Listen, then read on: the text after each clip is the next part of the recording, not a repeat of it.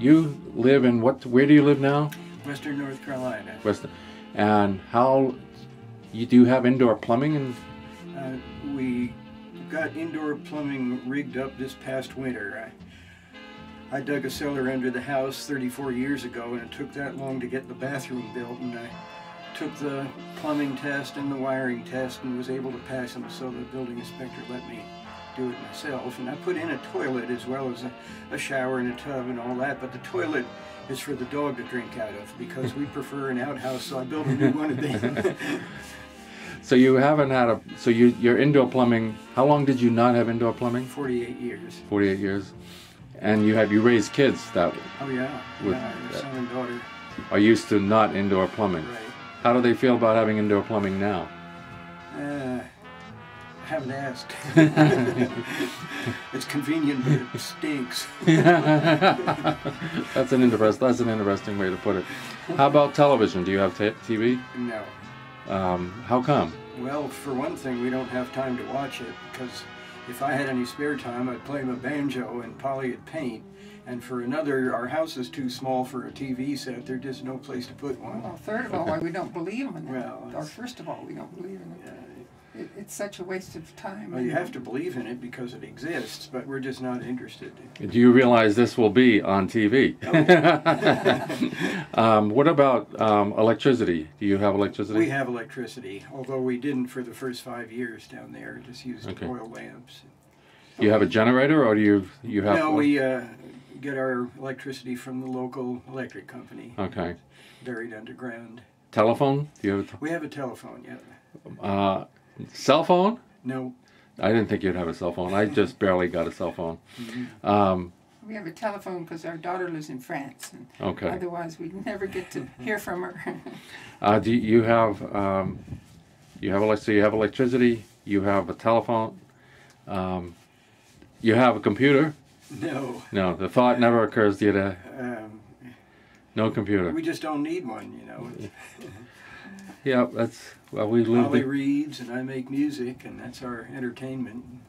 That's that's uh, that's that's really good. Now we uh, also heat with wood, an open fireplace, and we Mhm. cook with wood and have all our married life. It's a wood stove. How long have you been married? Um, 48 years.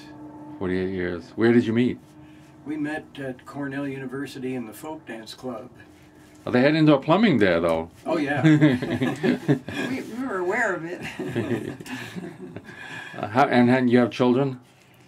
Chil- yeah, how many children do you have? Daughter. and a daughter son. and a son. How old are they? The son's 43, the daughter's 46. Oh, you have a car. yeah, we do. It's no horse and buggy. Nope. We used to. We used to have horses and all that. Yeah, we kept a milk cow for 20 years and You didn't mention Horses farming. That's what and, he um, does now.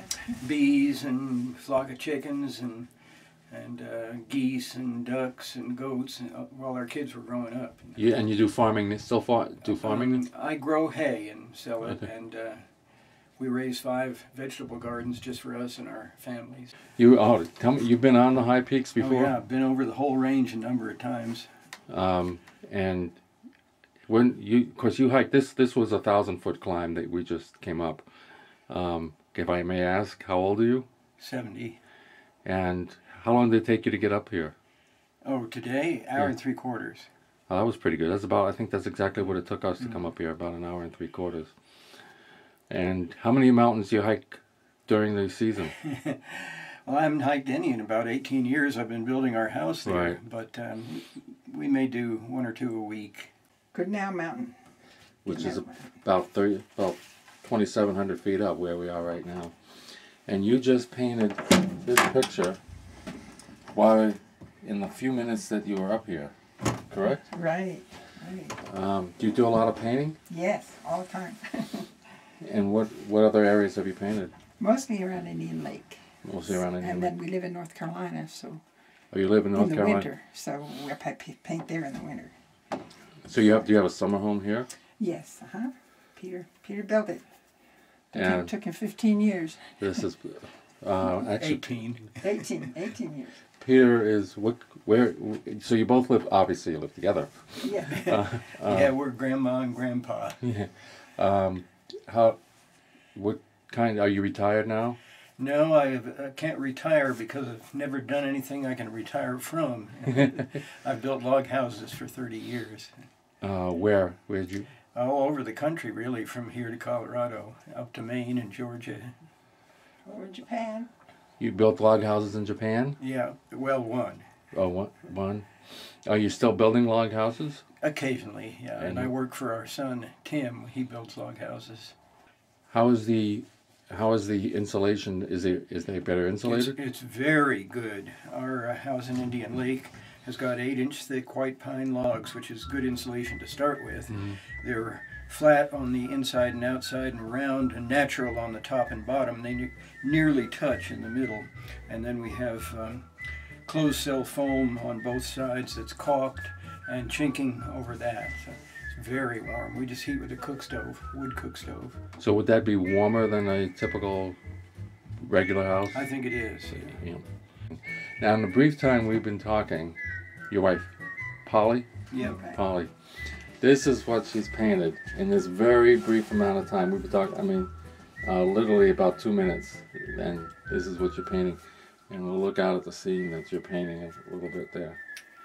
Uh,